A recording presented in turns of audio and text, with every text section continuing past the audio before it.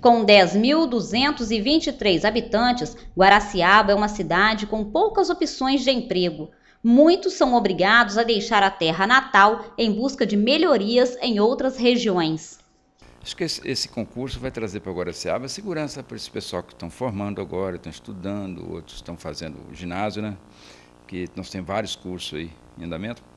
E vai dar oportunidade para que esse pessoal, esses meninos estão formando agora, não precisa sair de Guaraciaba, pode é, conseguir o seu primeiro emprego no, no, dentro do município com segurança, né? E o emprego público, às vezes não, o salário não é tão bom, mas pelo menos dá segurança, a pessoa vai trabalhar sem correr risco de ser dispensado, a não ser que ele cometa falta grave, que eu acho que não é isso que o povo quer. Todo mundo quer segurar seu, seu trabalho. São 41 vagas para diversos cargos e níveis de escolaridade e mais quatro para auxiliar de consultório odontológico de PSF. O concurso público vem para garantir a segurança no mercado de trabalho e para aumentar a renda da população.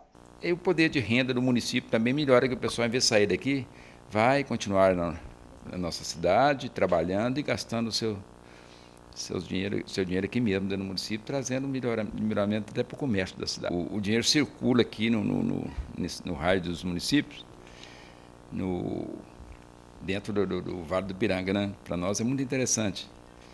E que esse povo também, esses meninos, não fica estudando e pensando em formar e ter que sair de imediato, ter que procurar emprego. Outros nem conseguem formar porque não tem meio financeiro para sobreviver.